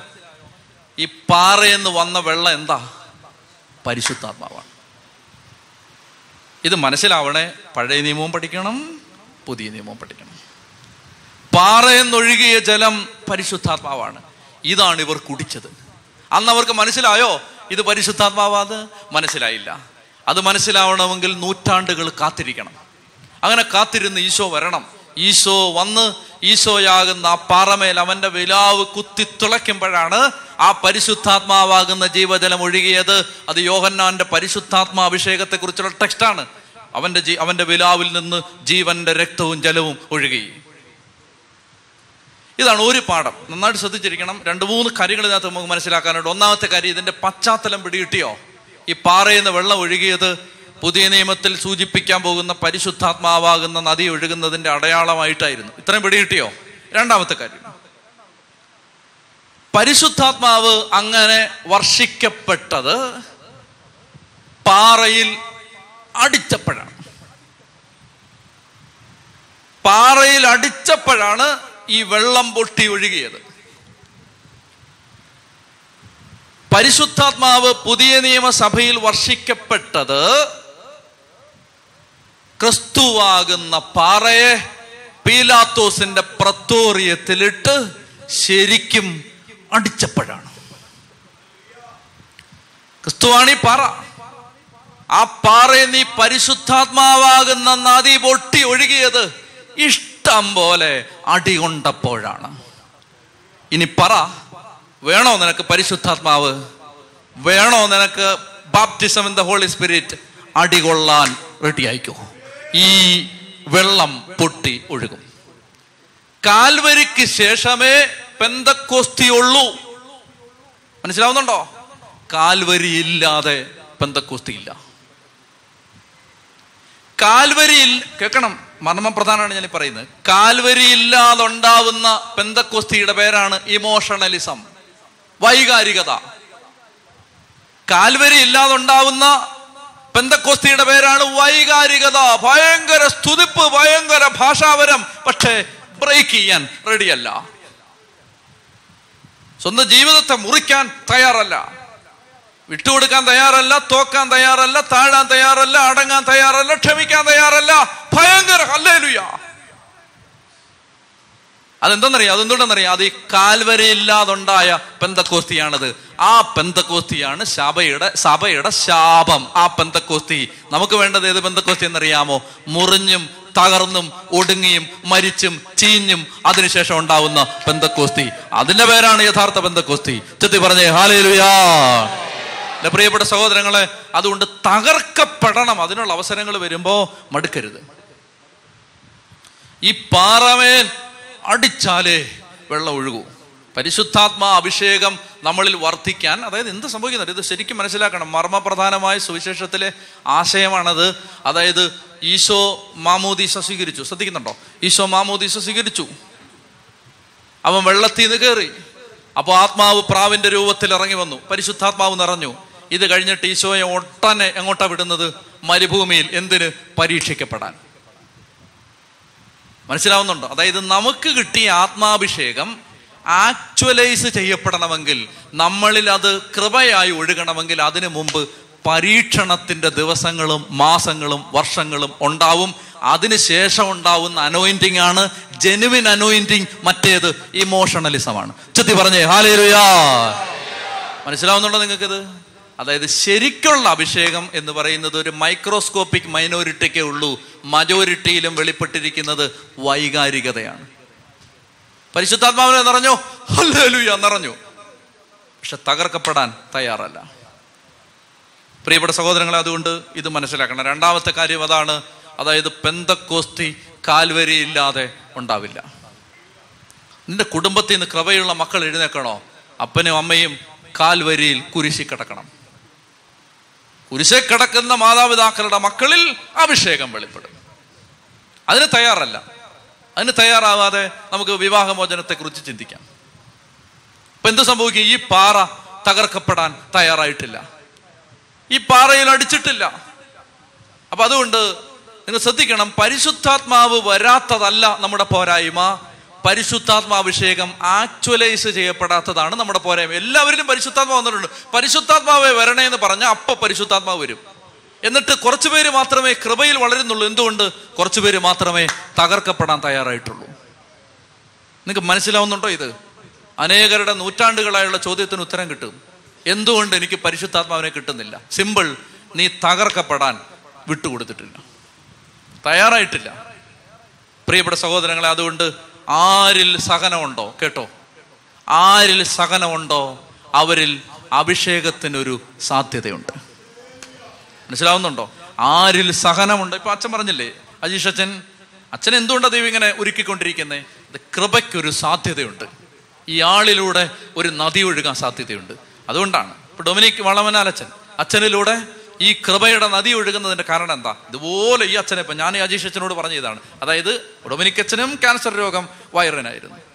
അച്ഛനും ക്യാൻസർ രോഗം വയറിന് വയറിന് വന്നൊരു ക്യാൻസർ ഒരച്ഛനെ കാലഘട്ടത്തിലെ പ്രവാചകനാക്കി വയറിന് വന്ന ക്യാൻസർ അച്ഛനെയും പ്രവാചകനാക്കും. ചെത്ത് പറഞ്ഞേ ഹാലേലുയാ. പ്രിയപ്പെട്ട സഹോദരങ്ങൾ അതുകൊണ്ട് ഈ കൃപ കൃപയൊഴുകാൻ സഹനം ഉണ്ടായേ പറ്റൂ. സഹനമില്ലാതെ കൃപയില്ല. പിന്നെ ഇപ്പൊ എനിക്കൊരു സമാധാനമുണ്ട്. ആരും വന്ന് പരിശുദ്ധാത്മാവ് നിറയാൻ പ്രാർത്ഥിക്കാൻ പറഞ്ഞു വരത്തില്ല. ഇത്രയൊരു സമാധാനം എനിക്കുണ്ട്. അച്ഛാ പരിശുദ്ധാത്മാവ് നിറയാനെന്ന് പ്രാർത്ഥിക്കച്ചാ എന്ന് പറഞ്ഞ് ഇനി ആരും ഇനി അധികം പേര് വരുമെന്ന് തോന്നുന്നില്ല. കാരണം കൈ വെച്ച് പ്രാർത്ഥിക്കാൻ ഞാൻ തയ്യാറാണെന്ന് വേണം ഞാൻ നിൽക്കാം. എത്ര പരിശുദ്ധാത്മാവെന്ന് അറിയാൻ വേണ്ടി മാത്രം ഞാൻ പ്രാർത്ഥിക്കാൻ നിൽക്കാം എന്ന് ഒരു കാര്യം ഓർത്തോണം. നീ തീക്കകത്തേക്കായിരിക്കും ഇവിടുന്ന് പോകുന്നത്. ഔര്യണ്ടേ വാ. ചത്തി പറഞ്ഞേ ഹാലേലുയാ പ്രിയപ്പെട്ട സഹോദരങ്ങളെ കാൽവരിയില്ലാതെ പന്തക്കുസ്തിയില്ല ഇത് മനസ്സിലാണ് ഇനി മറ്റൊരു പ്രധാനപ്പെട്ട കാരണം. മൂന്നാമത്തെ കാരണം ഇതാണ്. ഇവിടെ ഒരു ഭയങ്കര പ്രശ്നമുണ്ടായി. ഇതുപോലെ തന്നെ ഒരു സംഭവം വീണ്ടും സംഖ്യയുടെ പുസ്തകം ഇരുപതാം അധ്യായത്തിൽ നമ്മൾ വായിക്കുന്നുണ്ട്. സംഖ്യയുടെ പുസ്തകം ഇരുപതാം അധ്യായത്തിൽ ഇതുപോലൊരു സംഭവം നമ്മൾ വായിക്കുന്നുണ്ട്. അതായത് നമ്മളിപ്പോൾ വായിച്ച സംഭവം പോലെ അവർ ഒരു സ്ഥലത്തെത്തി സീനായ് മരുഭൂമിയുടെ അടുത്താണ്. അവർ പാളയം അടിച്ചു വെള്ളമില്ല കിടന്ന് കലകിച്ചു അപ്പോൾ ദൈവം ദൈവത്തിന്റെ അടുത്ത് മോശ ചെന്നു ദൈവത്തിന് ദേഷ്യമായി മോശയോട് ദൈവം പറഞ്ഞു നീ വടി എടുത്തോണ്ട് ചെല്ല് എന്നിട്ട് ആ പാറയോട് കൽപ്പിക്കുക വെള്ളം തരാൻ. കേൾക്കണം കേട്ടോ. ഇനി ഉറങ്ങിപ്പോവല്ലേ? ഇത് ഇത് ഞാൻ ഇപ്പം നേരത്തെ പറഞ്ഞതിനേക്കാൾ പ്രധാനപ്പെട്ടതാണ്. ശ്രദ്ധിക്കണേ. കുഞ്ഞു കാര്യമാണ് പക്ഷേ അതിനകത്ത് വലിയ ആശയമുണ്ട്. മോശ കാനാന്താട്ടിൽ കയറാത്തതിന്റെ കാരണം എന്താണെന്നറിയാമോ? ഈ രണ്ടാമത്തെ സംഭവത്തിൽ ദൈവം പറഞ്ഞത് തെറ്റിച്ചിട്ട് മോശ നേരെ ചെന്ന് പഴയ ഓർമ്മയ്ക്ക് ഒരൊറ്റ അടി അടിച്ചു. ആദ്യത്തെ സംഭവത്തിൽ അടിക്കാനാ പറഞ്ഞേ. നിങ്ങൾക്ക് മനസ്സിലായത് അതായത് ഇതുപോലെ ഒരു സംഭവം സംഖ്യ ഇരുപത് വീണ്ടും വരുന്നുണ്ട്. ഇതുപോലെ ജനം മരുഭൂമിയിൽ എത്തുകയാണ് വെള്ളമില്ല. അപ്പം കിടന്ന് കരയുന്നു. അപ്പൊ ദൈവം പറയുന്നു വടിയിടറാ. പോയി ആ വടി ഇങ്ങനെ നീട്ടിപ്പിടിച്ചിട്ട് വെള്ളം നീ നീ ആ പാറയോട് സംസാരിക്കുക വെള്ളം തരാൻ പറ. മോശം എന്ത് ചെയ്യുന്നറിയാം പഴയ ഓർമ്മയ്ക്ക് ചെന്നിട്ട് രണ്ട് അടിയങ്ങ് അടിച്ചു. പ്രിയപ്പെട്ട സഹോദരങ്ങളെ ദൈവം കോപിച്ചു. എന്റെ പരിശുദ്ധിക്ക് നീ ജനത്തിന്റെ മുമ്പിൽ വെളിപ്പെടുത്തൽ കൊടുത്തില്ല. നീ കാനാൻ ദേശത്ത് കാലുകുത്തില്ല. അപ്പൊ നമ്മൾ വിചാരിക്കും ഇത് ഇത് ഒരു ഒരു ഒരു- ഒരു രണ്ട് അടി അടിച്ചതിനാണോ? ഈ ഈ നൂറ്റി ഇരുപത് കൊല്ലം ജീവിച്ച് ജീവിച്ചതിന് കൊടുത്ത സമർപ്പണത്തിന് രണ്ടടി അടിച്ചതിന് ഇങ്ങനെ ചെയ്യാവോ? എന്റെ മനസ്സിൽ അനേക വർഷങ്ങളായിട്ടുള്ള ചോദ്യമായിരുന്നു. ചില ഉത്തരങ്ങളൊക്കെ ഞാൻ കണ്ടെത്തിയിരുന്നു. ഉത്തരം പൂർണമായത് ഇപ്പോഴാണ് ഞാൻ പറഞ്ഞുതരാം. ഇതറിയാവോ ഈ ശില ആരാണ്? ഈ ശില ആരാണ്? ക്രിസ്തുവാണ്. ക്രിസ്തുവിനെ ഒരിക്കൽ മാത്രം അടിച്ചാ മതി. ഒരിക്കൽ മാത്രം അവൻ കുരിശെ കിടന്നാ മതി. ആഴ്ച ആഴ്ച കുരിശെ തറയ്ക്കണ്ട ഒരിക്കൽ മാത്രം കിടന്നാ മതി. അങ്ങനെ കുരിശിൽ തറക്കപ്പെട്ട് കിടക്കുന്നവനോട് ഇനി അടിക്കണ്ട ചോദിച്ചാ മതി. വെള്ളം വരും. മനസ്സിലാവുന്നുണ്ടോ നിങ്ങൾക്കിത്?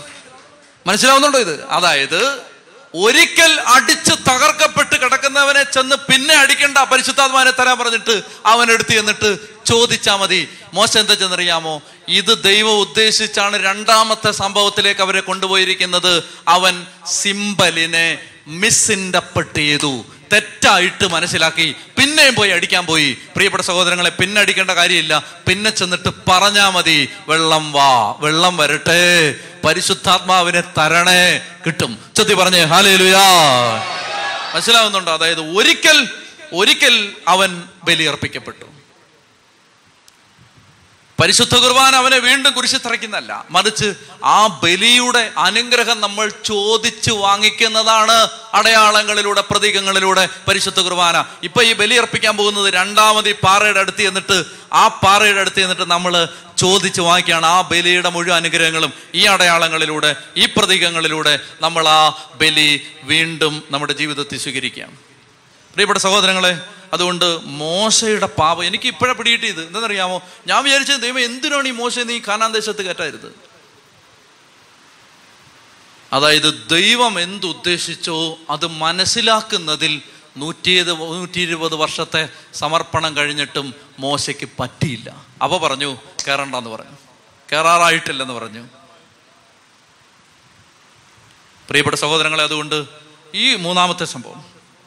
ദൈവം പറയുകയാണ് നമ്മുടെ ജീവിതത്തിൽ കർത്താവ് നമുക്ക് അഭിഷേകം തന്ന് കൃപ തന്ന് നമ്മളെ വളർത്താൻ ആഗ്രഹിക്കുമ്പോൾ ഈ സംഭവത്തിലൂടെ രണ്ട് മൂന്ന് കാര്യങ്ങൾ ഞാൻ പറഞ്ഞു. ഒന്ന് അതിന്റെ പശ്ചാത്തലം പറഞ്ഞു. നിങ്ങളുടെ മനസ്സിൽ ഓർമ്മയുണ്ടെന്ന് ഞാൻ വിചാരിക്കുന്നു. അതായത് ഈ പശ്ചാത്തലം ഇതാണ്? ഈ പാറ ആരാണ്? ഒന്ന് കോറിന്തോസ് പത്ത് നാല്. ഈ പാറ ആരാണ്? യേശുവാണ് ഈ പാറ. പരിശുദ്ധ കുർബാന അർപ്പിക്കുന്ന സമയത്ത് യേശുവിന്റെ അടുത്തേക്ക് നമ്മൾ ചെല്ലുകയാണ്.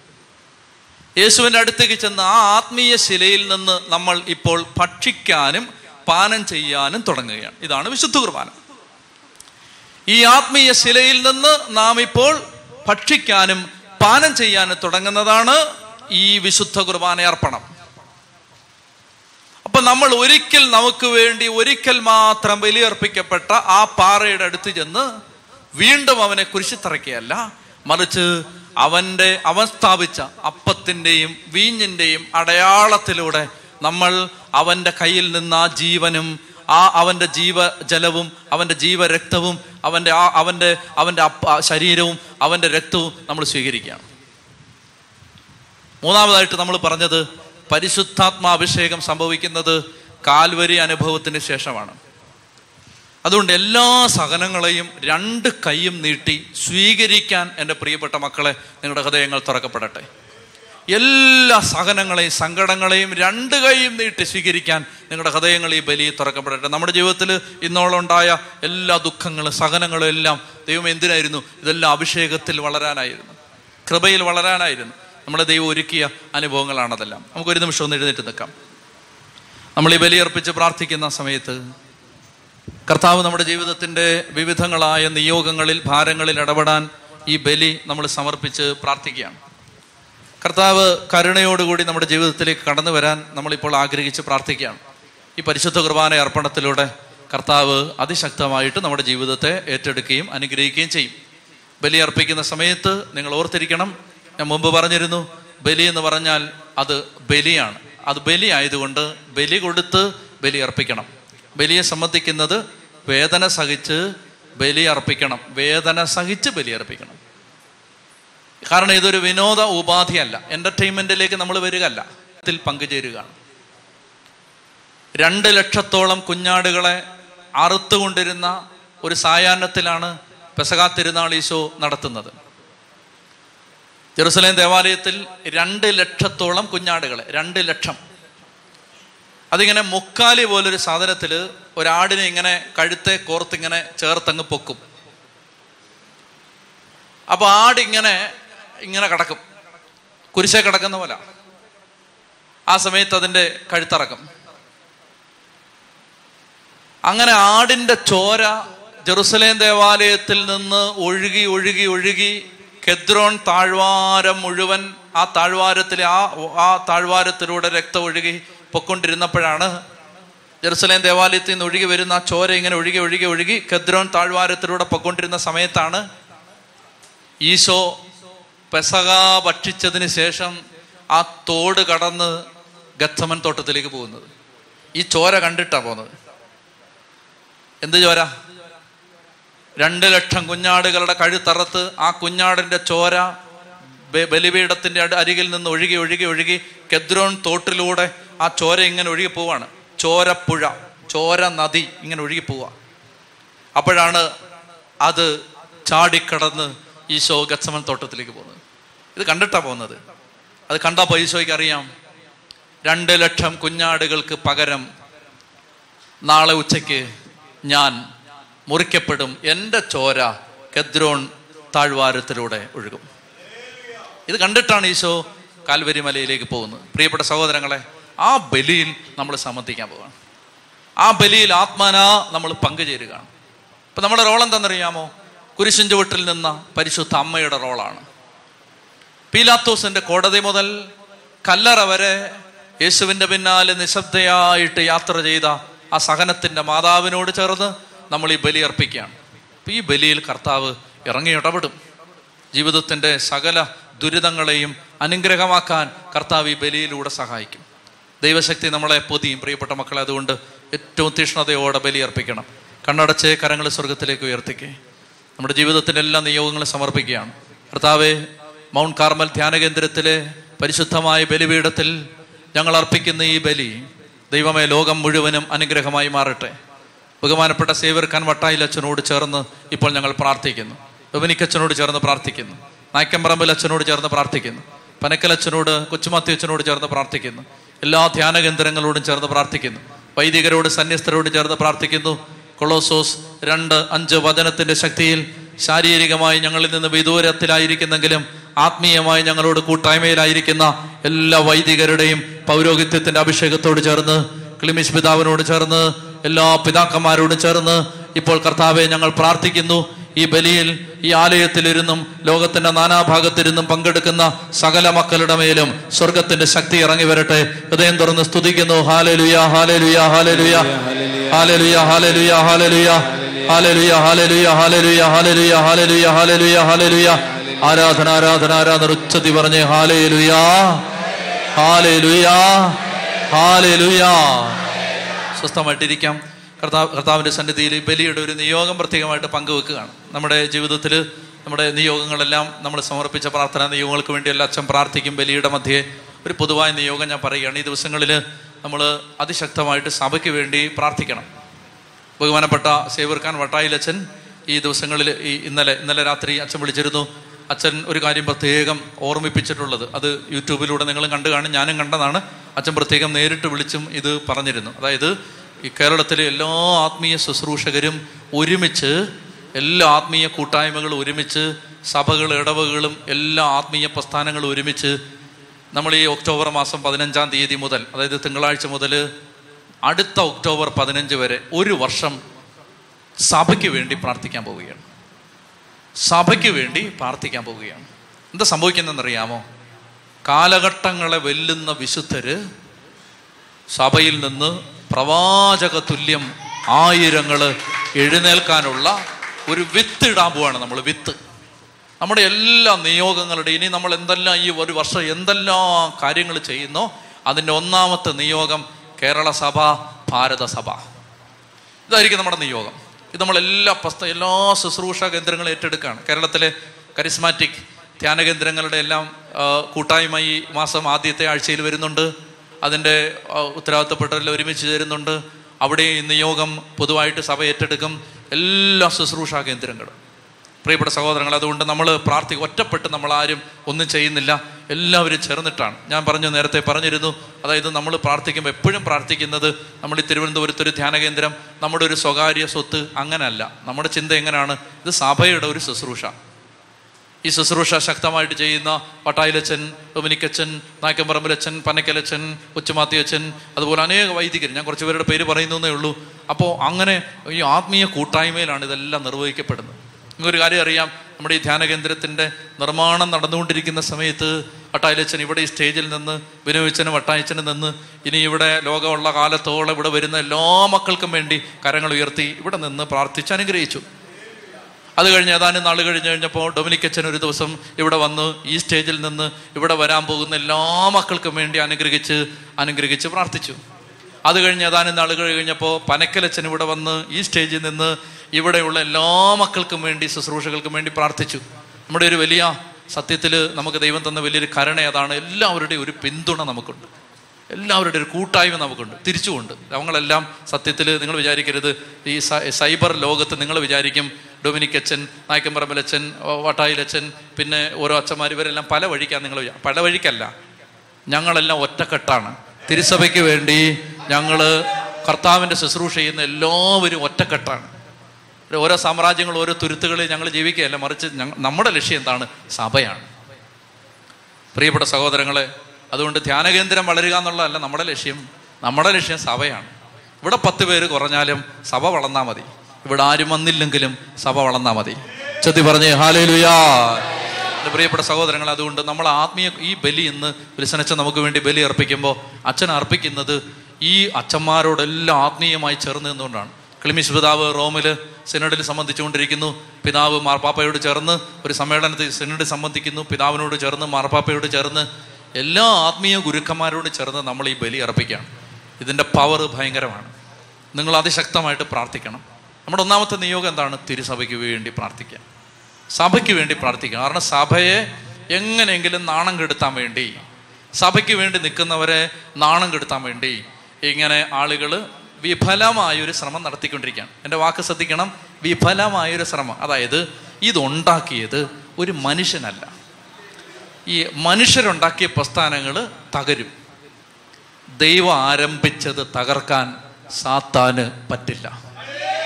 അതുകൊണ്ട് അത് അത് വെറുതെ അവർ അവർക്ക് അറിയാൻ പാടില്ല എന്നിട്ടാണ് അവരിങ്ങനെ ദൈവം ഉണ്ടാക്കിയ ഒരു സംവിധാനത്തെ ഇങ്ങനെ ഫേസ്ബുക്കിൽ പത്ത് കമന്റ് എഴുതിയാൽ അത് ബോഷത്തരല്ലേ? അങ്ങനെ തകരുമോ ഇത്. ഇവിടെ ചക്രവർത്തിമാർ നോക്കിയിട്ട് പറ്റിയില്ല. സാമ്രാജ്യാധിപന്മാർ നോക്കിയിട്ട് പറ്റിയില്ല. വലിയ പ്രമാദന്മാരായ ആളുകൾ നോക്കിയിട്ട് പറ്റിയില്ല. അങ്ങനെ പറ്റിയിട്ടില്ല. ഇത് തകരില്ല. ഇത് കാരണം നമ്മളത് അഹങ്കാരം പറയുന്നതല്ല. നമ്മൾ പറയുന്ന നമ്മുടെ അഹങ്കാരം എന്താണ്? നമ്മുടെ അഹങ്കാരം ക്രിസ്തുവാണ്. അഭിമാനിക്കുന്നവൻ ക്രിസ്തുവിൽ അഭി കർത്താവിൽ അഭിമാനിക്കട്ടെ. നമ്മുടെ അഭിമാനം എന്താണ്? കർത്താവാണ്. നമ്മൾ കർത്താവിൽ അഭിമാനിച്ചുകൊണ്ട് പറയുകയാണ് കർത്താവിന്റെ സഭയെ തകർക്കാൻ സൈബർ ചുവരുകളിൽ എഴുതുന്ന അശ്ലീലങ്ങൾക്ക് പറ്റില്ല. പറ്റില്ല. കർത്താവിന്റെ സഭയാണിത്. അതുകൊണ്ട് പ്രിയപ്പെട്ടവർ അവിടെ ഇവിടെയൊക്കെ എന്തെങ്കിലുമൊക്കെ നിങ്ങൾ കാണുകയും കേൾക്കുകയും ചെയ്യും ഒന്ന് മനസ്സ് മടുക്കരുത്. ഇനി എനിക്കുള്ളൊരു സന്തോഷം എന്തെന്നറിയാമോ അതായത് ഈ പ്രശ്നങ്ങളെല്ലാം സഭയിൽ നടക്കുന്ന സമയത്ത് നമ്മൾ എവിടെ ഒരു കൺവെൻഷന് ചെന്നാലും അവിടെ ഭയങ്കര ഇടിയാണ്. നമ്മൾ വിചാരിച്ചു പോകുന്നത് എന്താണെന്ന് ചിലപ്പോൾ ആൾ വരുത്തില്ലായിരിക്കും വിചാരിച്ചേ പോകുന്നത്. പക്ഷെ എവിടാണോ ഈ സഭയിൽ പ്രശ്നം വരികയെന്ന് അതിനനുസരിച്ച് ഇപ്പം എന്താ കണ്ടോണ്ടിരിക്കുന്ന അറിയാം? കുംഭസാര കൂട്ടിൽ ഇടിയാണ് ഇപ്പം കുംഭസാരത്തെ കുറിച്ച് സകല വൃത്തികേടുകളും പറഞ്ഞു വരുത്തിയതിന് ശേഷം കുംഭസാരത്തിന് ഇടിയാണ്. മനസ്സിലാവുന്നുണ്ടോ അതായത് ദൈവത്തിന്റെ പ്രവൃത്തിയെ പരാജയപ്പെടുത്താൻ പാവപ്പെട്ട മനുഷ്യർക്ക് പറ്റില്ല. അപ്പൊ ദൈവത്തിന്റെ പ്രവൃത്തി തളരാതെ നിൽക്കണമെങ്കിൽ അതിന് നമ്മൾ എന്ത് ചെയ്യണം? ഒരുമിക്കണം ഒരുമിച്ച് പ്രാർത്ഥിക്കണം. ഏക മനസ്സോടെ. ഇന്ന് നമ്മൾ ഈ ബലിപീഠത്തിൽ മൗണ്ട് കാർമ ധ്യാന കേന്ദ്രത്തിൽ അർപ്പിക്കുന്ന ബലി എല്ലാ ബലിപീഠങ്ങളോടും നമ്മൾ ഒരു കാണാത്ത സ്നേഹത്തിന്റെ ചരട് കൊണ്ട് കൂട്ടിക്കെട്ടുകയാണ്. എല്ലാ ബലിപീഠങ്ങളോടും. അതായത് ഫ്രാൻസിസ് മാർപ്പാപ്പയുടെ ബലിയോട് ചേർത്ത്. ലോകത്തുള്ള എല്ലാ മെത്രാമാരുടെയും ബലിയോട് ചേർത്ത് നമുക്ക് ഏറ്റവും സ്നേഹത്തോടെ ഈ ബലി അർപ്പിച്ച് പ്രാർത്ഥിക്കാം.